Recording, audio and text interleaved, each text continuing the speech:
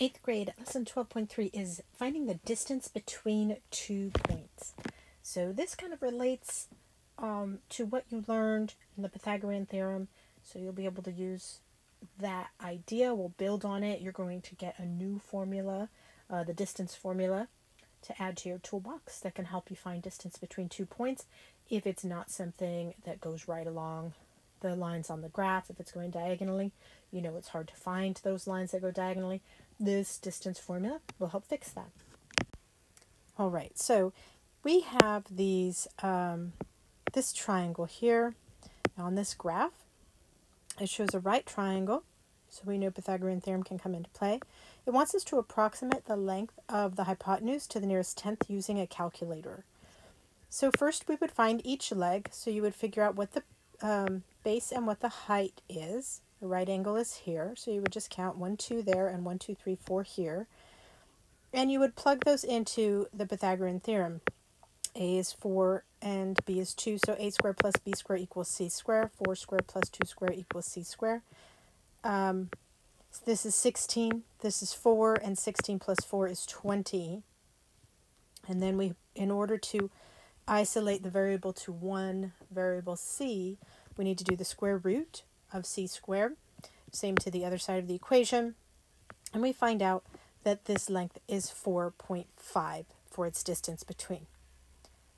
So, and you can check for reasonableness. Really, you can look and like it, it diagonally goes across 4. So you knew it was going to be somewhere around 4-ish, a little longer than that.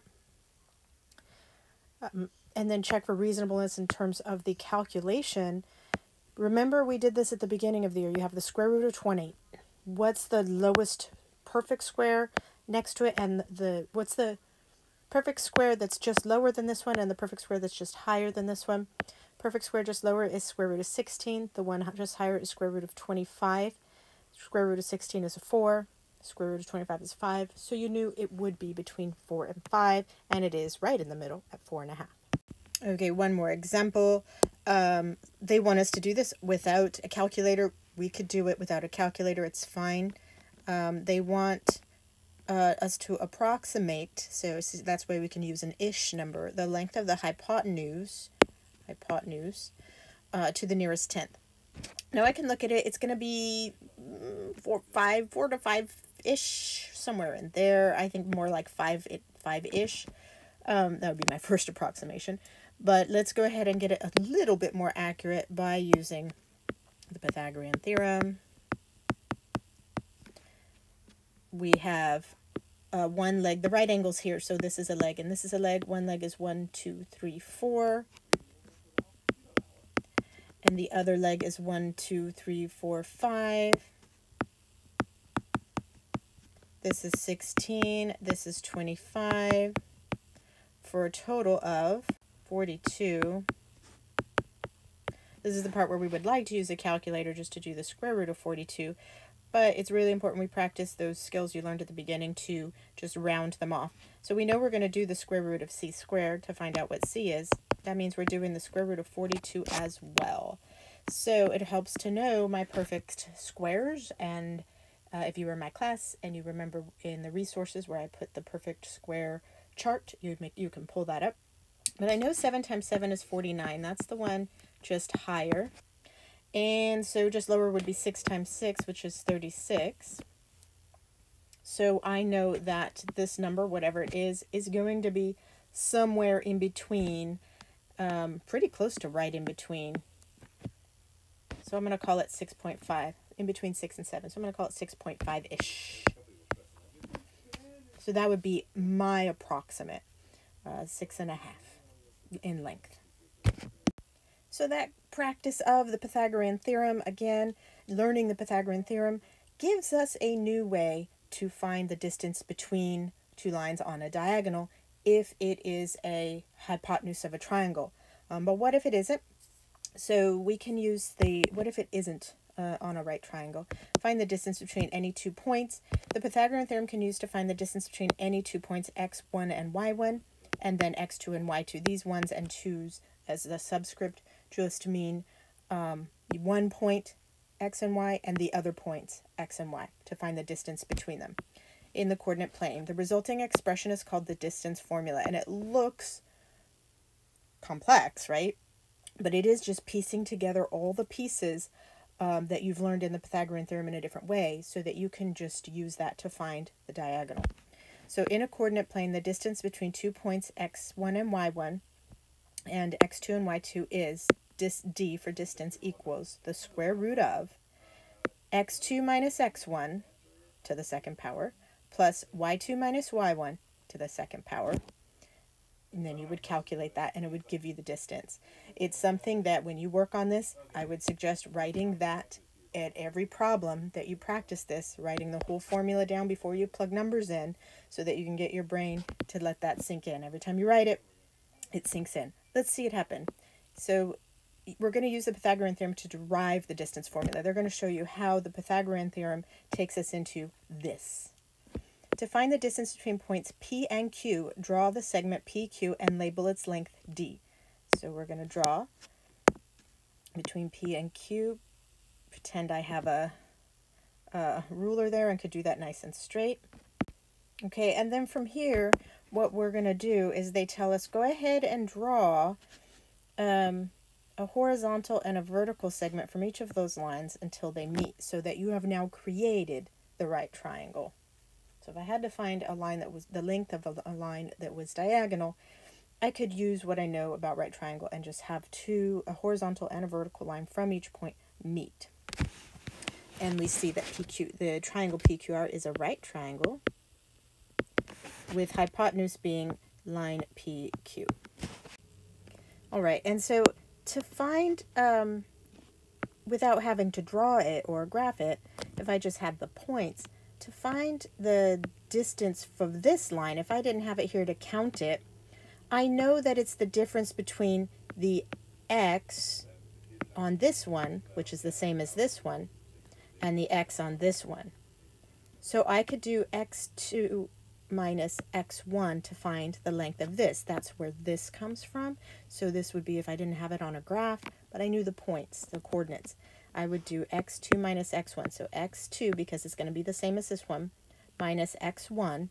That will tell me the length of this. And on that same token, um, if we did y2 minus y1, this one is how far up on the y, and then both of these are the y1 the, because they go up just as far. So I could do y2 minus y1 like this to find the length of that if I didn't have a graph to count it on. And that would give me the numbers I would need in order to use that Pythagorean theorem, a squared plus b squared equals c squared. Now, again, if I have it on a graph, sure, I can just count those legs and be fine. But if I didn't have it on a graph, this is your workaround. They're showing you well, you could just take x2 minus x1, sorry, x2 minus x1 to find the length of that, y2 minus y1 to find the length of that, and there you have it. And then you plug it in the formula and it will take you through to find the distance of the other side. So here they say use the Pythagorean theorem to find d, the length of segment PQ, PQ, and substitute the expression from b and c for a and b. So we're going to, we have the distance squared equals a squared plus b squared right? a squared plus b squared equals c squared, but we're just using distance now. Distance will equal the square root of a squared plus b squared. a squared plus b squared. We're going to find a by doing the subtraction here. We're going to find b by doing the subtraction there. So we have this, it, this by the way, these points are 2, 2, and 7, 7. So for my x squared, um, this one is going to be 7, 2. So my x squared is going to be 7 minus 2. And then my y2 minus y1 is going to be y2 minus y1, 7 minus 2 as well. Calculate that. We're going to get 5 square plus 5 square, and we want the square root of that. 5 squared is 25 plus 25, and we still want the square root of that. 25 plus 25 is 50. We want the square root of that. We know that the square root of 49 is 7 times 7. Um, and the square root, so 8 times 8 then would be the next one, 64. but really close to this. I would call it 7.1-ish is the distance for this line. So we used the distance formula. It's just a version of the, the Pythagorean theorem that allows you to do all that without having to put stuff down on a graph. So let's have a look at this in action. Francesca wants to find the distance between her house on one side of the lake and the beach on the other side. She marks off a third point forming a right triangle as shown. The distance in the diagram are measured in meters. So notice we don't have things we can just count, right? So we're going to use the Pythagorean theorem to find the straight line distance from Francesca's house to the beach. To find the length of the horizontal leg, we're going to take this um, x coordinate, 280, and subtract from it this x coordinate, 280 minus 10.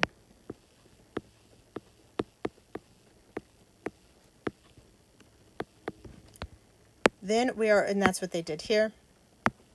Then we're going to take this y coordinate to find this length, this y coordinate, and subtract from it this y coordinate to find the length of that side.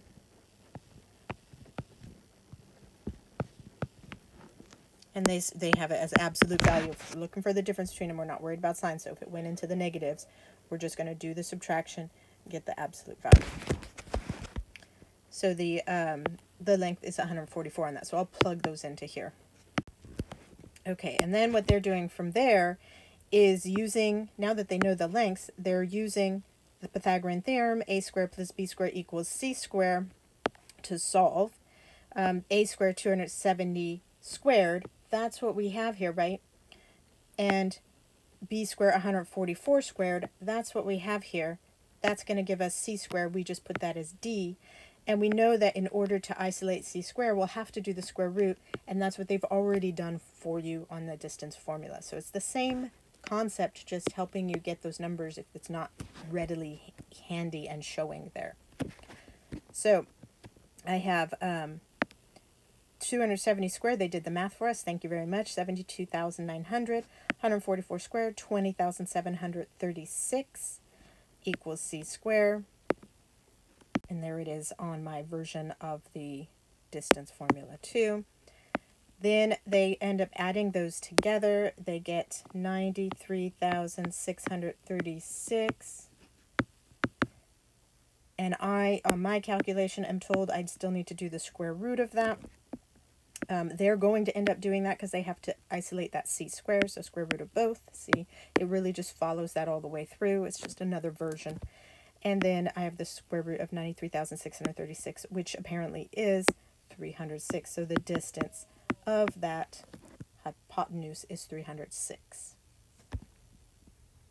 And that is meters to from her lake to the beach, uh, from her house to the beach at the lake. Okay, let's solve this by using distance formula, which again is just a version of that Pythagorean theorem. Camp Sunshine is also on the lake. Use the Pythagorean theorem to find the distance between Francesca's house and Camp Sunshine to the nearest tenth of a meter. So I'm going to also put the Pythagorean theorem here so you can see them work in conjunction at, at the same time on the same thing. How do I find the length of this? I'm going to take this x, 200, minus this x, 10.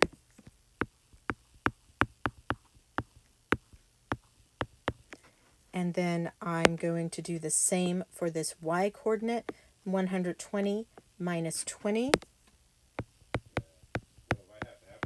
That's going to give me the lengths of this leg and this leg. So I'll calculate that. 200 minus 10 is 190. And 120 minus 20 is 100. So if I'm using the Pythagorean theorem rather than the distance formula, I now have the length of A and the length of B.